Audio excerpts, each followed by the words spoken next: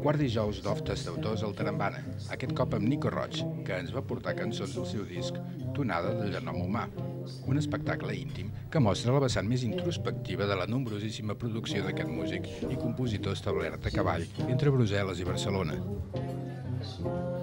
La guitarra i la veu són protagonistes per al repàs d'un repertori de cançons amb melodies molt senzilles i essencials, amb lletres delicades i a la vegada punyents, que tracten temes universals i que ens sembla que coneixem des de sempre, com si les portéssim inscrites a la genètica del nostre ADN.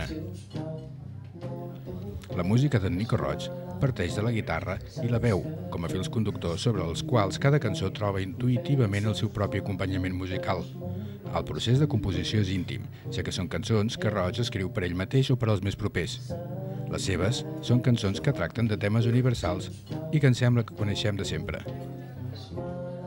per